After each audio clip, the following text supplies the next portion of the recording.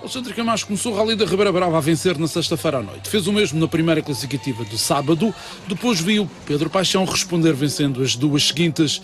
Nova vitória de Alexandre Camacho a fechar a ronda da manhã e entrava para a segunda parte do Rally com uma vantagem de 7 segundos. E no regresso ao Parque das Estâncias, Miguel Nunes mexeu nas suspensões e afinações do Hyundai i20. Conclusão, na parte da tarde anulou os 7 segundos e ainda terminou com uma vantagem de 5 segundos e 3 décimas para Alexandre Camacho foi um rally de trás para a frente do piloto do Hyundai.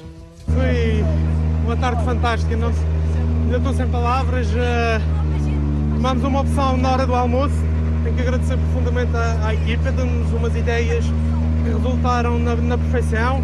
Ganhámos confiança, arriscámos imenso, mas o resultado está à vista e estamos muito satisfeitos. Alexandre Camacho, na parte da tarde, bem tentou, mas não conseguiu deixar fugir Miguel Nunes piloto do Skoda Fábia termina no segundo lugar e agora a uma distância que viu ser reduzida para 4 pontos no campeonato, mas mantém-se líder. Em condições normais, eh, o Miguel ganha. Portanto, pronto.